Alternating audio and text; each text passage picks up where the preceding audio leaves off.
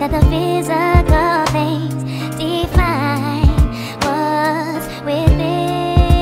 And I've been there before, but that life's a bore, so full of the super.